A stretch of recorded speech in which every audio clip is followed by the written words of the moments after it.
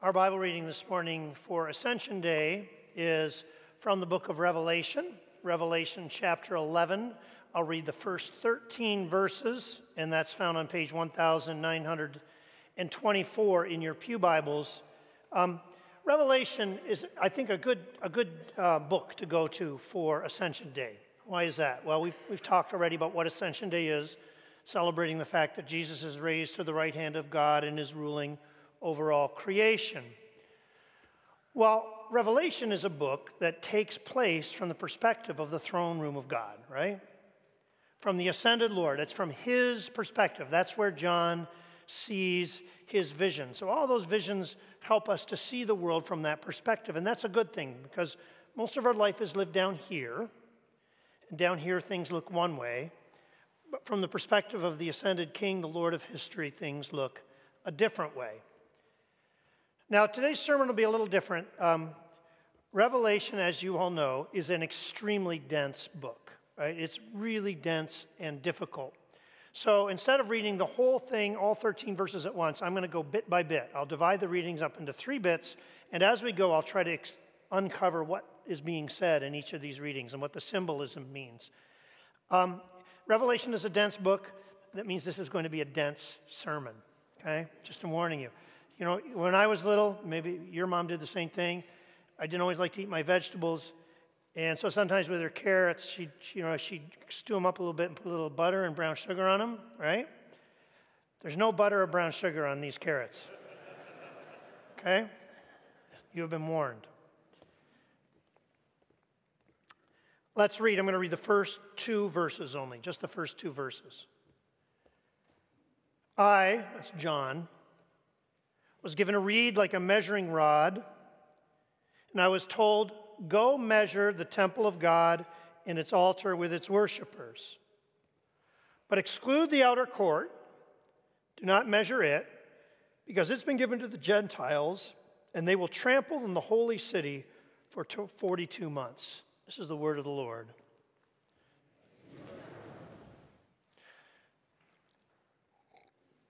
So, we have the first bit of symbolism already in two verses. There's quite a bit in there. You got the symbolism of a temple. You got a symbolism of, a, of John doing some measuring of this temple. And you've got the idea that there's two courts in this temple, and one of the courts is measured, and the other courts isn't. And the one that isn't is trampled. So, what, is, what are we supposed to, what is this saying to us? Well, let's start with the temple. What do we think of when we think of the temple? Uh, first clue the temple in this passage is not, is not the physical temple in Jerusalem, right? That's probably the first thing that pops into our minds when someone thinks of the temple. That's not this temple. How do we know that? Well, first of all, by the time Revelation was written, that temple had already been, it didn't exist. It had been destroyed by the Romans who came in to Jerusalem around 70 AD. So that temple didn't exist, which pushes against that understanding. And also in the New Testament, when the New Testament talks about the temple of God, what is the most common referent for that temple? It's us. Jesus is the temple, and we are part of his body. His body, the body of Christ, we worshipers, built on his foundation, him is the cornerstone. We are the temple of God. And that, that's something you see and hear throughout the New Testament. Just a few examples. 1 Corinthians 3:16 don't you know that you are the temple of God? And you here is plural. So what it's really saying is, don't y'all know that y'all are the temple of God, okay? And the Spirit of God dwells within y'all. This, we are the temple. 1 Peter 2 5. You, and plural again, y'all, also as living stones, are being built up as a spiritual house for a holy priesthood, the temple of God.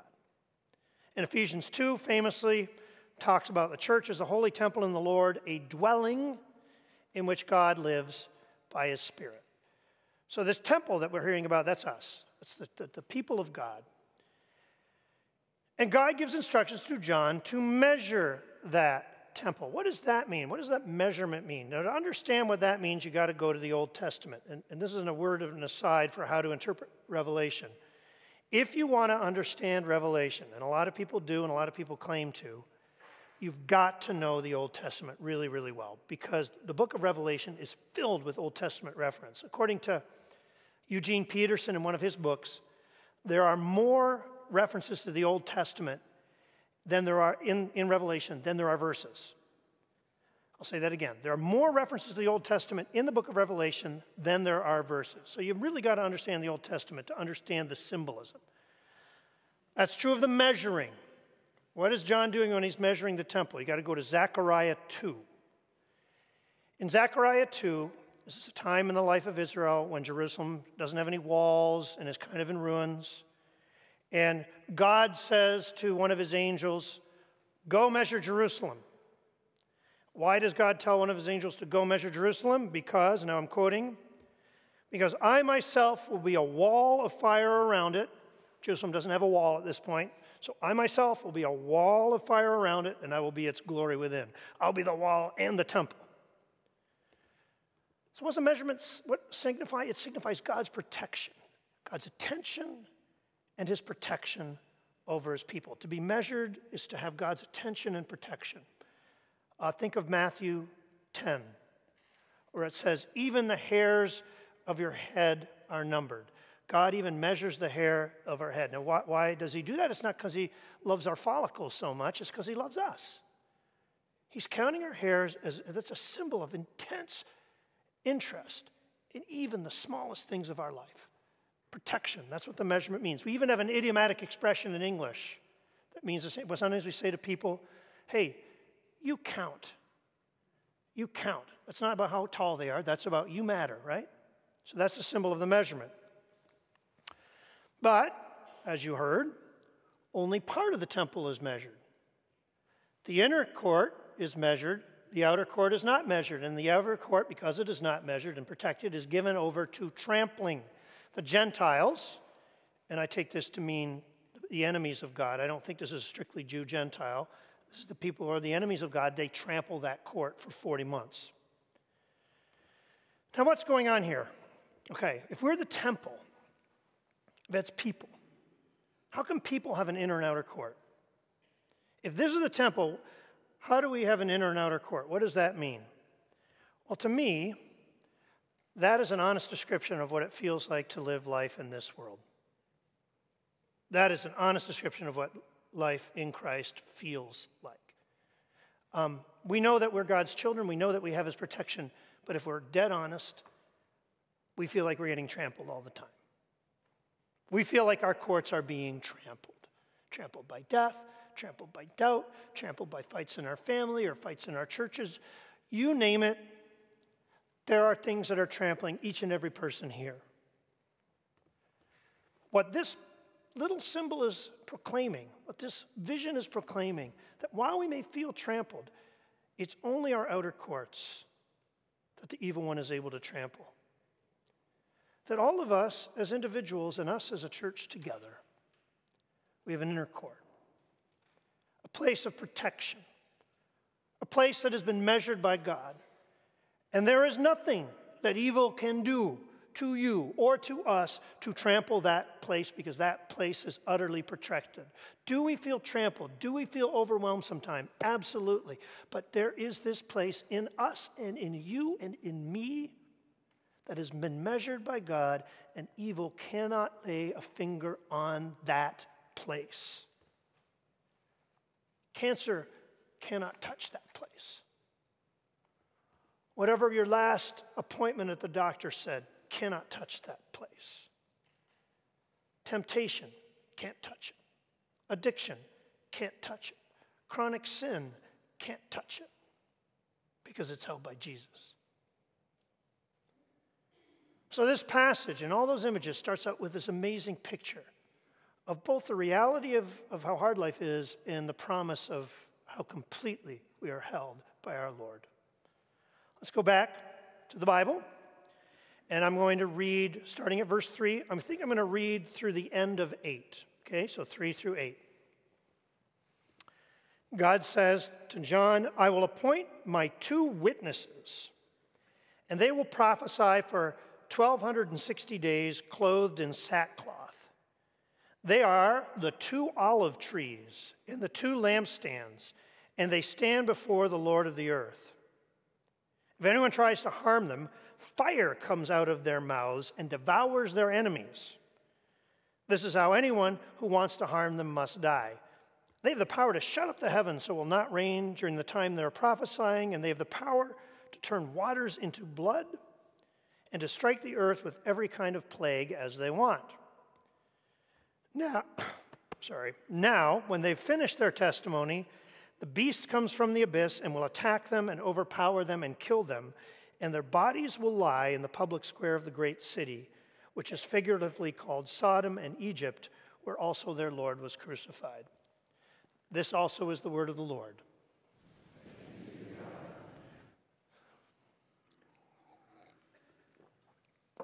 Okay, the, the uh, central character of that bit, we've moved on from that promise of the temple. And Now we hear about these two witnesses. Who are these two witnesses that are prophesied here? Commentators have a lot of answers. So, uh, one of the answers they have is that these two witnesses are Peter and Paul. And they give that answer because of the end of the passage where it talks about their bodies lying in the city, because Peter and Paul were both executed by this time. They had both been martyred by this time. Okay? So people say that they're martyred and their bodies in the city. They think, oh, that's Peter and Paul. They're the two witnesses. Others say, no, that's wrong. It's Joshua and Zerubbabel. Who are Joshua and Zerubbabel? You got to go back to the, here's where you got to know your Old Testament. Joshua and Zerubbabel were leaders after the exile when Jerusalem was a ruin and they were trying to rebuild the city. And they were facing opposition from within the congregation, they were facing opposition from enemy neighbors, and they felt overwhelmed. And God came to them and said, No, no, no, don't be afraid, guys. You are before me like an olive tree and a lampstand. You two guys, you're my olive tree and my lampstand. You're both providing the oil and you're lighting the fire. You're both of those things, so don't be afraid. So people go to Zechariah 4, they know their Old Testament. They say, Look, he mentions the lampstand, must be Joshua and Zerubbabel. Still others say, nope, it's got to be Moses and Elijah. And why Moses and Elijah? Well, you heard uh, Elijah is the one who shut up the heavens from rain in the time of Ahab. And Moses, of course, is the one who's associated with the plagues and turning water into blood. They say, oh no, the two witnesses are Moses and Elijah. So you read the commentaries and it's, it's all these people, and you say, no, which of those is it? Well, here's the answer it's all of them. It's all of them. And here's a clue, another clue about how to read Revelation. Usually, Revelation is not referring to one historical event.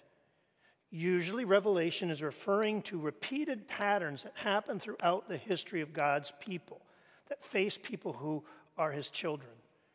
And that's what's happening here. So, the two witnesses are, are all of those guys I just mentioned, and the two witnesses are us. You are the two witnesses. Because just like them, you are called to this task of going out into the world and proclaiming God and saying His glory. And what this passage is telling you, what these images are telling you, is that just like Joshua and Zerubbabel and Moses and Elijah and Peter and Paul, when you go out, you will feel small. And the world out there will seem overwhelming in its power, and it will oppose you, and it will come against you. But don't be afraid, because I am with you. You witnesses have the call to go out into the world and witness to today's Ahabs and Pharaohs and those who stand against me. Notice the uniform that we are given for this witness work it is sackcloth. We do not go out wearing some glittering armor. We're wearing sackcloth. What is that sackcloth about? That's a, um, we wear sackcloth out of humility and repentance. So we do not go to the world in our witness um, in self righteousness, holier than thou, smugness, rage. We know what's the matter with you people. Nope. Sackcloth. The clothes of people who know that they are saved by grace and are only standing there because of the grace of Jesus Christ, proclaiming a gospel of grace to people who are no better or no worse than us and who need the same grace. That's the clothes of our witness.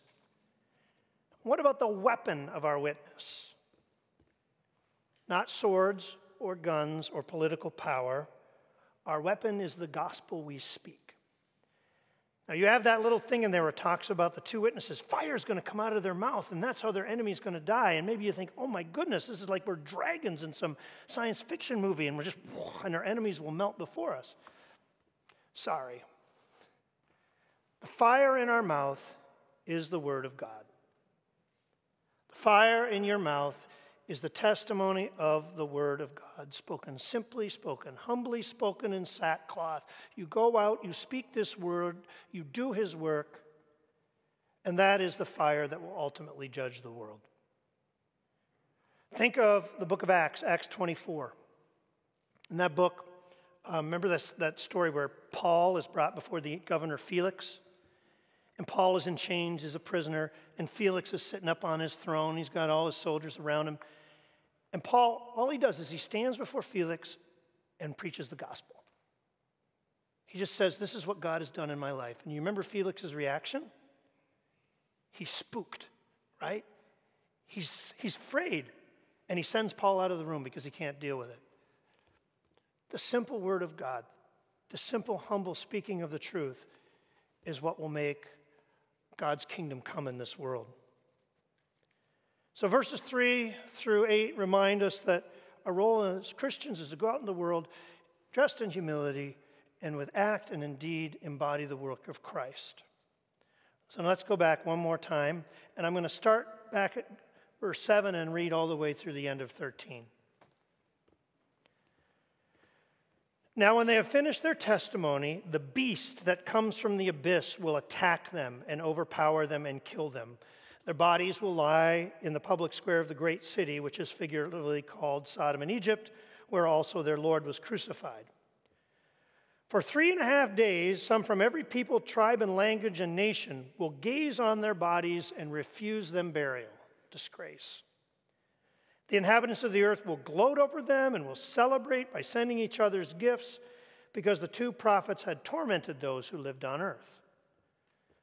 But after three and a half days, the breath of God entered them, and they stood on their feet, and terror struck those who saw them. And they heard a loud voice from heaven saying to them, Come up here. And they went up to heaven in a cloud as their enemies looked on. At that very hour, there was a severe earthquake. Tenth of the city collapsed. 7,000 people were killed in the earthquake, and the survivors were terrified and gave glory to the God of heaven. This is also the word of the Lord.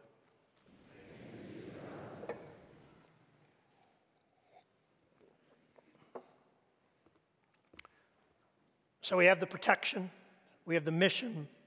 Verses 7 through 13 give us some idea of what we can expect as a result of this mission that we do. And at the beginning of the passage, the results don't sound so good, do they? The witnesses are martyred. They are opposed, they are killed, their bodies lie in the streets. It sounds like we're going to lose, and, and the rest of the world, they're going to give each other high fives and send each other gifts, and they will celebrate. But right after a short time, and now I think here's a part of the passage where um, the vision refers to the end times. The witnesses will be raised up, like the last judgment, right? When the dead shall be raised. The witnesses will be raised up and stand on their feet. And Jesus will return, and the judgment of the nations will occur. And at that point, when Christ returns, everyone will see that the witnesses that were speaking the truth, and our testimony will be vindicated. And not only will our testimony be vindicated, then I think something deceptively wonderful happens. Let's look at verse 13, right? And you have that prophecy of a severe earthquake and a tenth of the city collapsing and 7,000 people killed. And that sounds pretty harsh, right? That sounds like, wow, that's severe judgment. But you got to put it in perspective. Tenth of the city falls, but 90% of the city and 90% of the people are spared. And then what do they do at the end of verse 13? What do they do after they're spared? They give glory to God. They turn to God, they bow the knee to God. 90% of the people turn and name the Lord. 7,000 people perishing sounds terrible, but it's a tiny number when you think about what could possibly be. And it's a tiny number when you compare it to the ratios of the Old Testament. Again, again to the Old Testament here. When the Old Testament prophets prophesied judgment, they also had a ratio, only their ratio was the inverse of this one.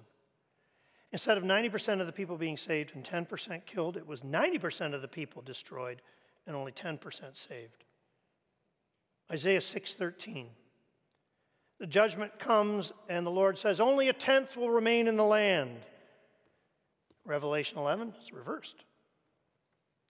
In Amos 5, verse 3, the prophet says that when the judgment comes, a city of a thousand will only have a hundred, and a city of a hundred will only have ten. Only a tenth will remain. Revelation 11, way more hopeful than that. And then you probably all know that in the book of Kings, Elijah laments that there are only 7,000 who have not bowed the knee to Baal. Only 7,000 righteous remain. But in this case, it's not 7,000 who remain, it's only 7,000 who perish, and all the other people give glory to God. When you read through Revelation 11 quickly, it feels um, dark and difficult.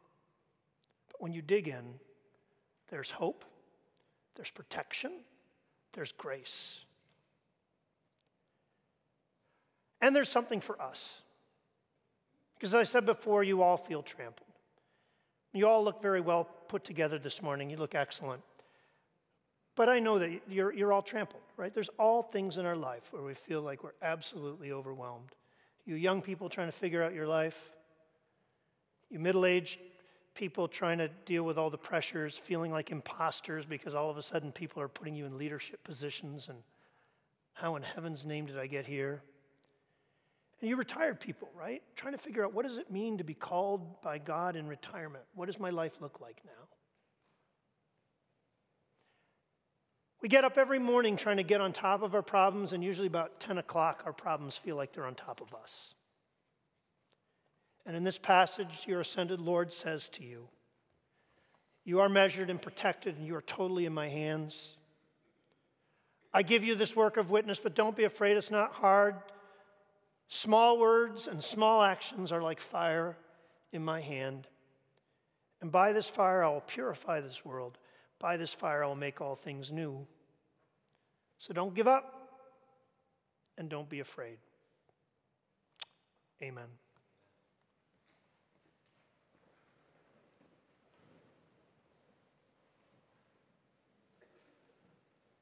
Thank you, Lord Jesus, that we could Spend a little time in your heavenly courtroom. Ascended Jesus, it was good to hear your word and to see that perspective. Lord, you know all the ways in which we feel overwhelmed. Thank you that we have a picture of your kingdom coming and this protection that you give us.